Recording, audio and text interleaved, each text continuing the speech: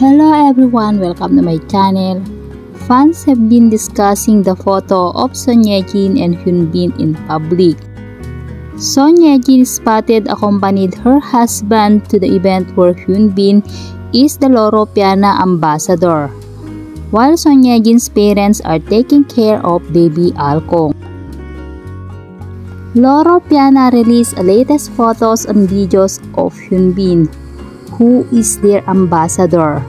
According to them, Hyun Bin is more than just a brand ambassador for Loro Piana.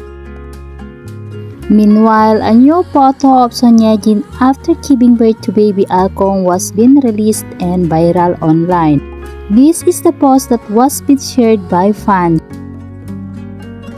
Son Ye-jin was so beautiful on this photo.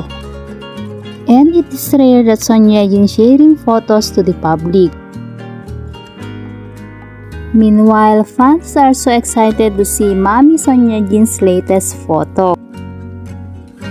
Son Ye-jin post shows that she is very happy in her life with her beloved husband and son.